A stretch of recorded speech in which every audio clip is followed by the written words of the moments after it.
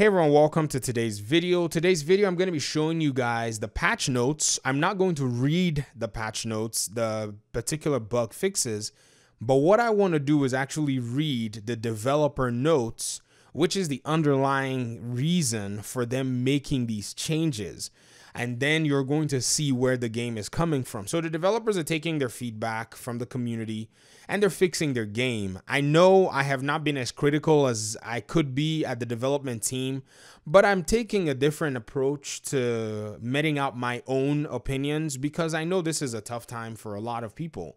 And I'm getting all these flack and all these comments, but eh, it is what it is. People can disagree, but I hope the community remembers when I gave the game a 6 out of 10 for the progression bug.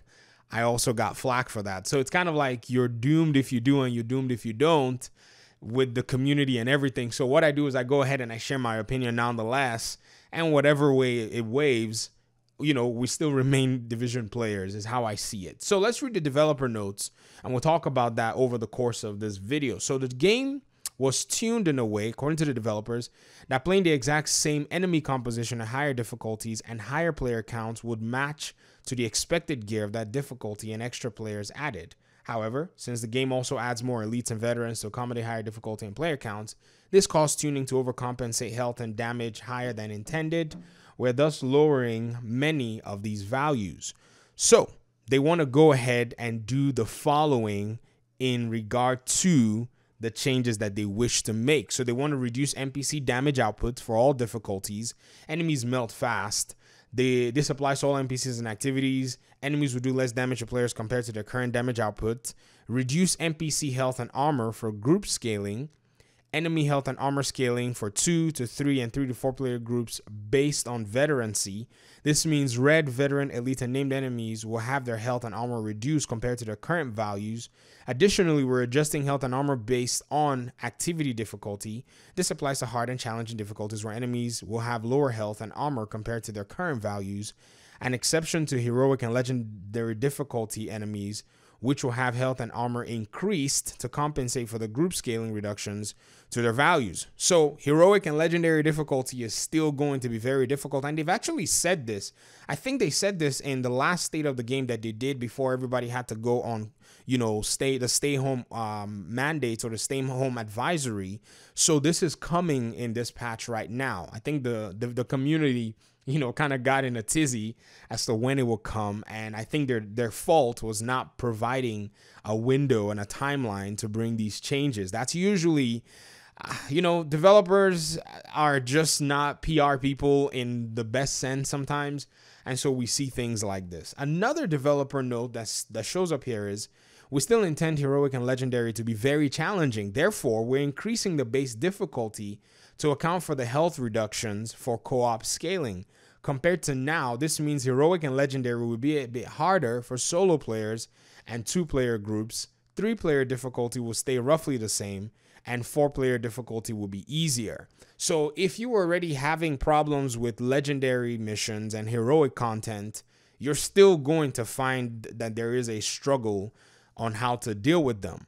But as a solo player, there are ways to still continue because solo players are still playing but the only thing is, there's going to be a slight difficulty for solo gameplay. But let us not freak out. There are probably going to be things that are able to mitigate this kind of play if you want to play solo on heroic and two player groups. I think people started running missions in two player groups. And here we go again with the developers taking a heavy handed approach to deal with and nerf things or to scale things that favor players to have fun. And I hope that they do this in a sensible way and make players actually stronger to compensate for this in a way that doesn't discourage solo players and two man groups or, you know, uh, to kind of push them out of the game because this is probably the direction that this can take. But I think there are other things that we can actually try to, you know, speak about to solve for these things, but we'll talk about it here in a little bit. Now, Black Tusk specific adjustments, which went live earlier last week, which reduced the health of Warhounds, reduced the damage of the Warhound sniper, reduced the damage of the 360 spin on Warhound minigun, increased the intention icon during the 360 spin from Warhound miniguns to give players more time to react, reduce weak point uh, health of Warhound Grenadiers control unit, support station, base uh, reduced base health of support station, uh, adjusted health scaling of support station with veterancy, increased likelihood of support stations being deployed in the open away from cover. EMP effects will now damage the support station. So these things are being worked on and the devs want to bring the game to a place where players still have fun playing it. Yes, the past difficulty was for those people like me who enjoy very difficult content, and I know some people say I, I, hear, I hear two different uh, vari- variations uh, in the assumptions that people have about how much time I spend and how I play the game. There's a school of thought that think I play the game as a hardcore player and I have a hardcore team of sweats that we live in our mommy's basements and we play every day and we grind. I'm not saying anything against the sweaty players. I mean, I know you're sweaty and stuff, but I'm not, you know, I'm not dogging on you. I'm just saying there are people who think that's all I do. Then I have another school of thought of people who think I don't play this game at all and I just make videos because I don't play as much as they do. Honestly, I like the I like the false assumptions both ways because you know I don't feel like I, I just laugh at them because it's really interesting to see how players think uh, about you know another player when you put your opinions out there. But maybe in time you'll know how I play the game. Maybe in time you won't. But I'll leave that for a separate conversation. Uh, level 30, World Tier 1 to World Tier 5 content. NPC damage, health, and armor receive additional reductions.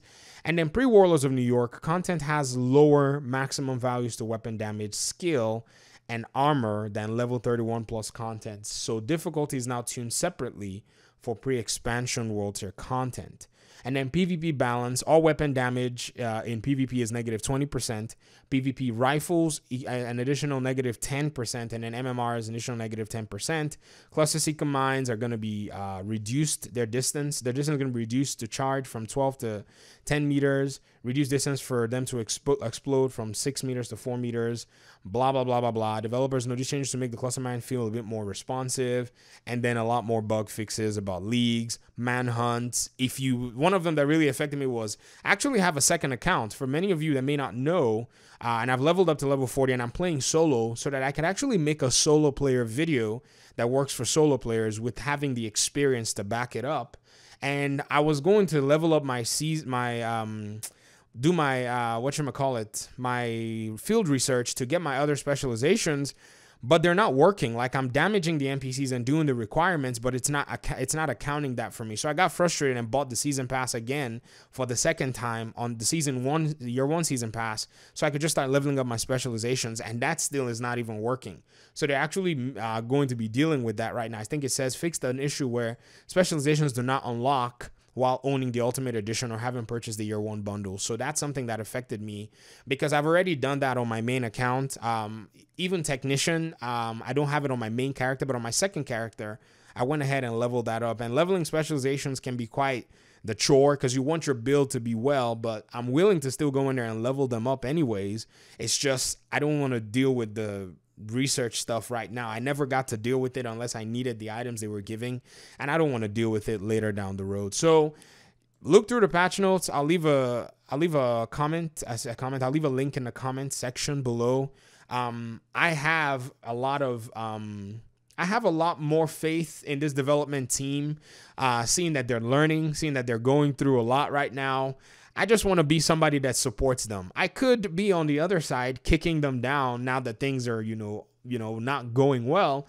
But I've make I've made this decision and I know it's not popular. I know many people are, you know, aghast or how do you say it uh, exasperated there's these big words in there there's some some some five cent words in there and i know the community as a whole has a lot of mixed feelings but i've decided to take a positive stance in this season and it may rub off wrong at members of the community but i've also said feel free to disagree with me. Uh, i've even had names name people calling me names you know telling me all kinds of stuff. Ladies and gentlemen we can disagree without anybody acting like a you know like a little baby. I mean we're adults here. I can hold an opinion that is starkly in contrast with anybody else and I understand holding that opinion is going to, you know, throw, you know, dirt my way. But if you want to throw dirt my way and you don't have any way to counter the arguments, I mean, feel free to also go ahead. And I might be wrong. I always, always leave room for that possibility that I might be wrong in the way I've taken my stance against the game. I even have my my own personal friends comment on my videos telling me that they don't they do not agree with my opinions. So if they are even disagreeing with me and I'm still not going to shift, and you know I really have a reason for doing this. Maybe the reason may not be seen today, maybe the reason may not be seen right now, but I still have a reason for taking the stance that I'm taking currently with the current game. And I know it's broken. They've had four years to fix the game. Hey, you're preaching to the choir. Go watch my old videos when I was talking about how the game was broken. I've said every single thing I feel like the community can say right now. But I'm taking a different turn to see how this plays out. And then we'll see what goes on from here down the road.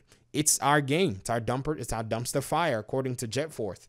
We're going to have to work through it, or maybe we're going to, you know, resign from playing the game if it becomes a scenario where the devs just cannot hold it together. And I'm open to all kinds of options. So Thank you very much for watching the video. I appreciate you guys' support nonetheless. I know I'm a knucklehead some days, but you guys still, and this is what you guys deal with. And I, know I'm so, I'm, I, I, I just, I apologize in advance, but I'm, I'm about to be a crazy, uh, stubborn child here in the next few weeks. So thank you for bearing with me, and I'll see you guys in the next video. Peace.